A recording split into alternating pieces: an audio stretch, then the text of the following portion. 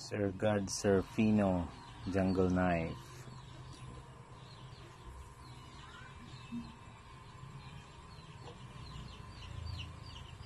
Both sides ang kilay.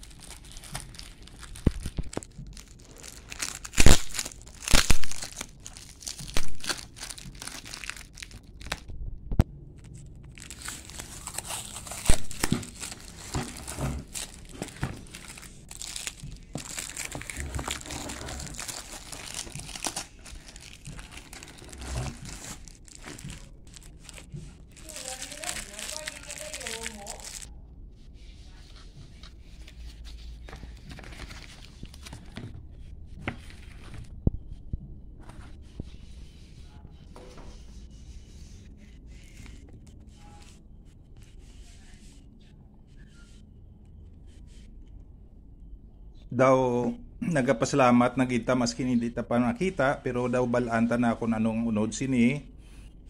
Kagapasalamat gid kita sa Ginoo no? Paagi kay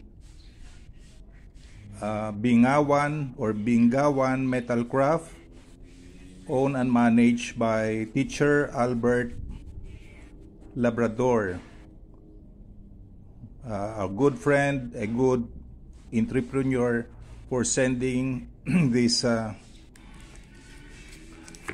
handy knife from their place in Bajangan Town, Iloilo to to my home here via JRX Express.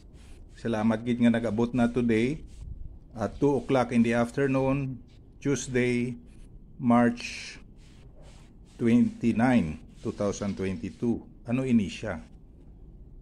Kuha siya mo do 10 inches na kalabaon ang iya blade. 10 inches. Kag, uh, as usual, this is a forged blade, forged in fire. So medyo mabakod naman ni siya kag uh, matalom. Salamat gid uh, teacher Albert Labrador. A young man with uh, wife and children. Or basi isa pa lang ang iya child, no? Basi isa pa lang. Tiyari na abrihana matamatan ta abri kag ah, again nga pasalamat kid ko kay Lord no pasalamat man ko sa young friend ko Albert for being a responsible uh, trustworthy honest uh, businessman and I know he's a very good teacher I'm not sure kung elementary siya ha or high school teacher but before long siguro ma-principal na siya if he's not a principal yet in a government school, perhaps uh, near promotion na siya. No? Thank you very much, Albert. Thank you to your family. Thank you to your pandays, bladesmiths. Amo na ning nag-abot, sir. Amo na ning ginapaabot. Ah, you sent this to me last Saturday, JRS Express. Ikatahom sang iyang uh, scabardo. Nati kay native looking gid pang Filipino gid. Pang Filipino gid katahom sang pag-obra. Bakod sang handle. Dakod ang iya, may guard pa oh. May guard pa. Buksan ta ni siya. Mo ni siya. Mo ini siya, ara siya. Wow. 10 inches long. Mag-an lang ni siya, very handy. Nami gini siya mang tapas-tapas, no? Wow. This is it.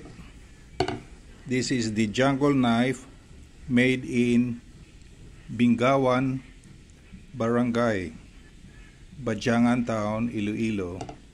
Thank you, Gid, kayo, Sir Albert, and to your bladesmiths, blacksmiths, kag sa mga panday sa sining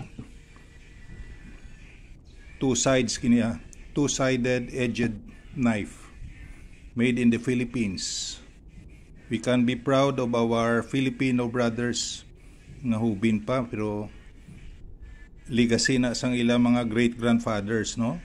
Sa Badyangan town. Nga daw export quality ang ila mga bolos kag sa mga knives. Amo na ni siya. Thank you thank you. This is it. Thank you